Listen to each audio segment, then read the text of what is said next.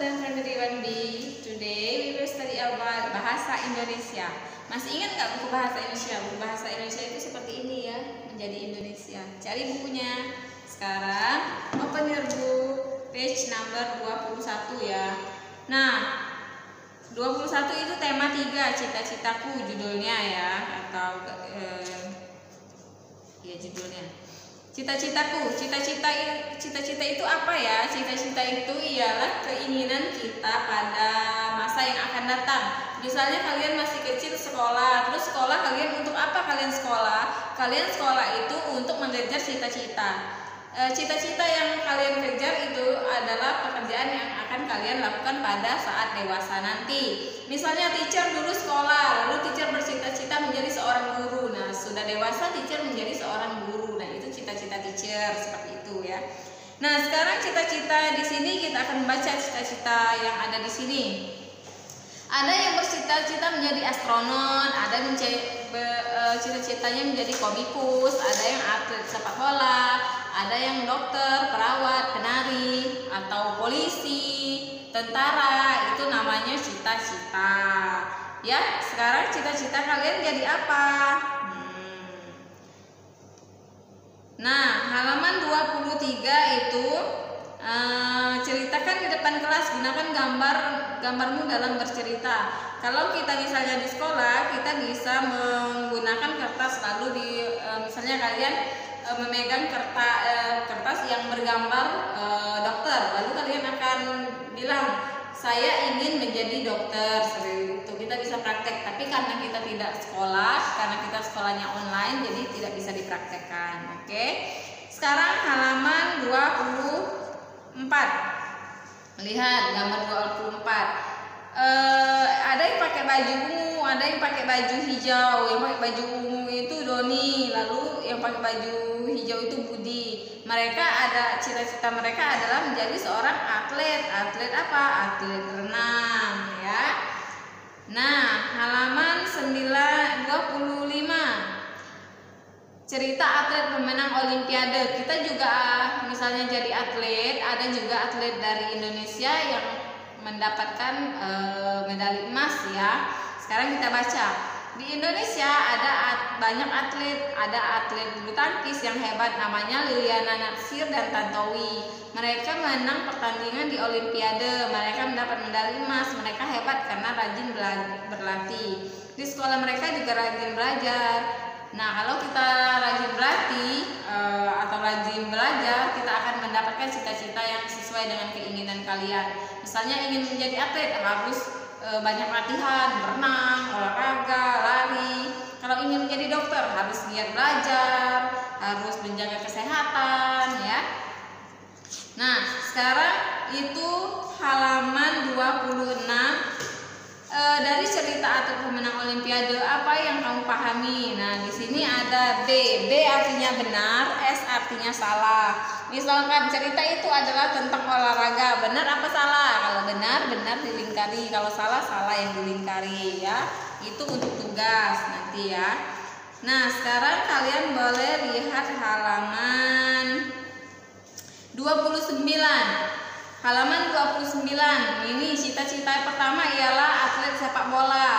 Uh, saya senang sekali berolahraga. Saya selalu ber, berusaha menjadi juara. Selain dapat bermain dengan banyak orang, olahraga akan membuat saya sehat. Jika saya sudah besar, saya ingin menjadi olahragawan. Saya ingin bisa berlari cepat dan menendang gol ke gawang lawan. Siapakah saya? Nah, itu atlet sepak bola. Yang kedua, saya suka membaca buku dan melihat film tentang manusia, binatang, dan tumbuhan. Jika saya sudah besar, saya ingin dapat menjaga kesehatan mereka yang saya sayangi dan mengobati mereka. Berarti itu dokter atau perawat ya. Lalu yang di belakangnya juga itu ada astronom, ada komikus, ada penari. Nah, itu silakan dibaca sendiri ya. Lalu kita ke tema 4. Tema 4 itu liburan ya. Nah, siapa yang mau liburan? Misalnya mau liburan, jangan liburan jauh-jauh atau keluar negeri atau jauh-jauh keluar kota ya. Liburan bisa di rumah, bisa di kota Palembang Lembang ini tetap ya jangan keluar-keluar karena masih ada pandemik nanti kita terkena virus.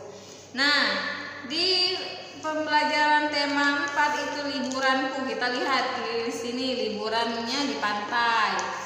Nah, kalau kita mau liburan, biasanya kita siapkan dulu, siapkan dulu alatnya, siapkan dulu pakaian yang mau dibawa ya. Nah, coba lihat gurumu akan membacakan cerita tentang liburan Doni bersama keluarga. Dengarkan ya, kemudian jawab pertanyaan. Nah, Doni dan keluarga, ke mana Doni dan keluarga berlibur? Nah, ke mana? Apa yang mereka lakukan di malam hari? Lalu apa yang mereka lakukan di pagi hari? Apa yang akan diceritakan Doni kepada Ibu dan Nesya? Nah, nanti kita jawab bersama-sama. Sekarang halaman 38, 33 kapal api. Ini adalah lagu, lagu kapal api. Lagu kapal api nanti kalau kalian mau e, bernyanyi atau kalian mau tahu lagu kapal api silakan e, cari di YouTube ya. Lagu kapal apinya ada. Bagus sekali lagunya ciptaan AF Kau Besin ya. Karena di sini tidak ada audio hmm, jadi kalian bisa lihat carinya di YouTube ya lagunya. Next sekarang halaman 34 pilihlah salah satu kegiatan di hari-hari liburanmu untuk diceritakan kepada teman.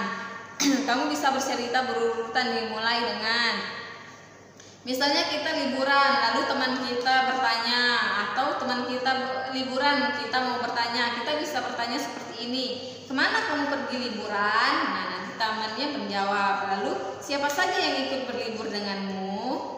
Lalu apa saja yang kamu lakukan? Bagaimana perasaanmu selama liburan? Setelah itu ke mana lagi kamu ingin pergi berlibur? Nah itu adalah urutan-urutan kata kalau kita bertanya kepada teman yang e, berlibur ya. Nah, sekarang halaman 35. Berkemah. Hmm, berkemah itu adalah kegiatan yang menyenangkan di luar rumah ya. Biasanya berkemah itu pakai tenda. Apakah cerita ini tentang suasana pagi atau malam? Coba temukan yang manakah gambar bulan, bintang, api unggun, dan senter. Berkemah. Saya dan teman-teman sedang berkemah. Kami tidur di kaki gunung. Kami memasang tenda bersama-sama. Kami mendengar suara jangkrik, krik, krik, krik. Kami merasa angin bertiup. Wus, wus, wus. Kami membuat api unggun. Kami memandang bintang-bintang. Kami menyalakan senter. Kami bernyanyi bersama la la la la la. Kami tertawa bersama ha ha ha ha ha. Nah, seperti itu ya. Lalu Hmm, pertanyaannya, apakah cerita ini tentang suasana pagi atau malam? Coba kalau ada bintang, ada bulan, itu uh, pagi hari atau siang hari atau malam hari? Tentunya malam hari, karena kita sudah belajar ya kegiatan malam hari. Nah, sekarang coba kalian lihat di halaman 36. Halaman 36 itu e, menyusun kata-kata. Misalnya, teacher kasih contoh sedikit ya, menyusun kata-kata. Pergi e, kami Bali ke. Nah, kira-kira dari empat kata ini yang pertama? Ingat, kata-kata yang pertama itu diawali dengan subjek. Subjek itu saya, kamu, dia, mereka, kami, Eh, kata-kata di depan kalimat. Berarti yang duluan itu adalah kami. Kami apa? Kami pergi atau kami balik atau kami ke? Artinya kami pergi. Pergi ke mana? Pergi ke atau pergi balik ke? Berarti pergi ke Bali seperti itu. Nah, halaman 36 itu disusun ya, disusun seperti itu. Lalu halaman 37 Lihat gambar pantai ini, ini indah ya. Nah, sekarang lanjutkan kalimat di bawah ini. Jika saya berlibur di pantai ini pada pagi hari, saya akan, nah dilanjutkan. Jika saya berlibur di pantai ini pagi hari, pada pagi hari saya akan apa? Saya akan berenang boleh, saya akan mancing boleh. Kalian di, disambung ya kalimatnya. Pada siang hari saya akan apa juga ya. Nah, sekarang untuk dibacakan oleh guru memancing bersama ayah, memancing bersama ayah. Nah, ini uh, untuk menjawab pertanyaan kita yang di depan tadi ya. Ini memancing bersama ayah. Liburan ke sekolah, eh liburan sekolah telah tiba.